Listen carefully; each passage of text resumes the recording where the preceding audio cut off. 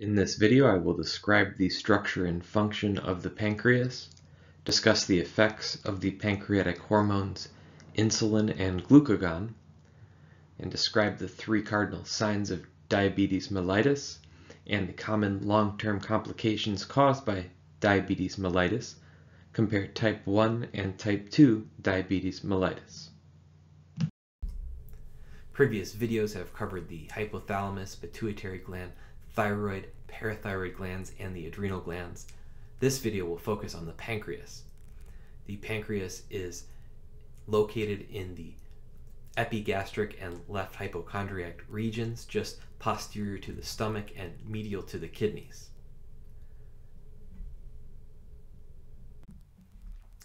The pancreas has both exocrine functions as well as endocrine functions.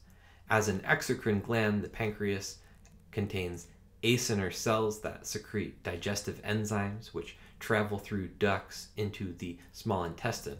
We'll discuss the exocrine functions more when we get to the digestive system, but the endocrine functions of the pancreas come from clusters of cells known as pancreatic islets or islets of Langerhans, which are distributed throughout the pancreas. Within the pancreatic islets are alpha cells that produce the hormone glucagon and beta cells that produce the hormone insulin. Together, glucagon and insulin work to help maintain a stable blood glucose concentration. In response to low blood glucose, which is known as hypoglycemia, alpha cells of the pancreas release glucagon. Glucagon binds to receptors on the surface of cells throughout the body where it has the effects of decreasing the uptake of glucose from the blood and decreasing the utilization of glucose in cellular respiration. So it inhibits the metabolic pathways that use glucose it also stimulates glycogenolysis, which is a process that breaks down glycogen. Glycogen is a carbohydrate that stores glucose. In the liver, glycogen can be broken down in order to release glucose into the blood. Glucagon also stimulates the process of gluconeogenesis, which is the synthesis of new glucose from amino acids and glycerol. Together, these effects work to increase blood glucose concentrations to restore the homeostatic set point between 70 and 110 milligrams per deciliter. In response to elevated blood glucose, which is known as hyperglycemia, beta cells of the pancreas release insulin. Insulin binds to receptors on the surface of cells throughout the body where it stimulates the uptake of glucose from the blood and stimulates the use of glucose in cellular respiration, which is a metabolic pathway that breaks down glucose in order to produce ATP. Insulin also inhibits the process of glycogenolysis, which prevents the release of glucose from storage, and insulin will stimulate the storage of glucose as more glycogen is synthesized. Insulin will also inhibit gluconeogenesis, so it stimulates the production of new glucose.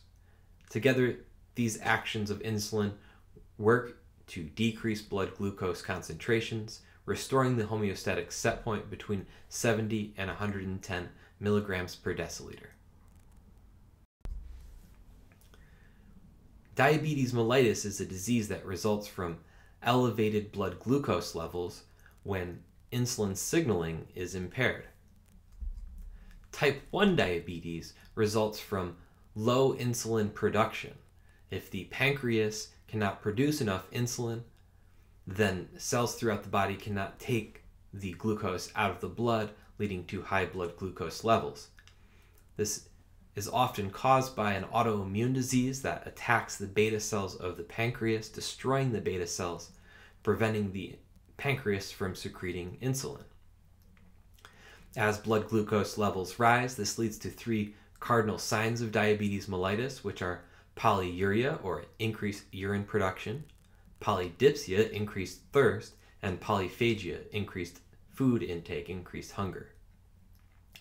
The polyuria results from high glucose levels of the blood overwhelming the kidney's ability to reabsorb glucose, and as excess glucose is being lost in the urine, increased water is lost along with that glucose in increased urine production. And as water is being lost from the body and dehydration uh, develops, this stimulates the increase in thirst. And together, the, the loss of energy from the body as glucose is being lost in the urine, as well as the disruption of the normal signaling function of insulin in the brain, which is important for stimulating satiety, which is the opposite of hunger.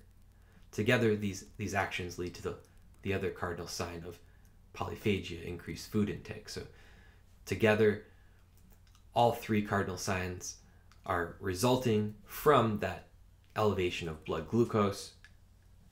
And that elevation of blood glucose in type 1 diabetes is because the pancreas cannot produce insulin sufficiently. In contrast to type 1 diabetes, there's type 2 diabetes, in which cells throughout the body do not respond to insulin. That is, they become insensitive to insulin. Even though the pancreas is initially producing large amounts of insulin, the insulin receptors are not responding, or the cells are not responding when the insulin receptors become activated, but the, the cells then cannot take glucose out of the blood. This leads to elevated blood glucose levels, and the three cardinal signs of diabetes the polyuria, polydipsia, and polyphagia result from high blood glucose levels. Over time, high blood glucose levels in diabetes mellitus can lead to complications that are largely a result of damage to blood vessels from high blood glucose. The image on the bottom left here we see is representing diabetic retinopathy or damage to the eye. The retina of the eye is damaged from high blood glucose levels, and this can lead to visual impairment and over time eventually to blindness. In the central image, you can see damage to the kidney, diabetic nephropathy, or eventually renal failure, kidney failure, can result from damage to the small blood vessels of the kidney. And the image on the right is representing damage to the nervous system, diabetic neuropathy.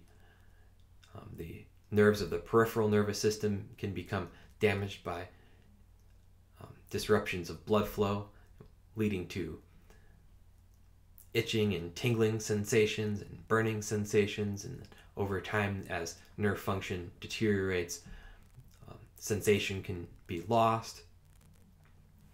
Um, other common complications of diabetes mellitus include an increased risk of cardiovascular diseases like heart, heart attack and stroke or increased incidence. Also, the wound healing process is impaired by the elevated blood glucose damaging small blood vessels of the skin, and the immune system becomes suppressed, leading to slow wound healing and increased risk for infections.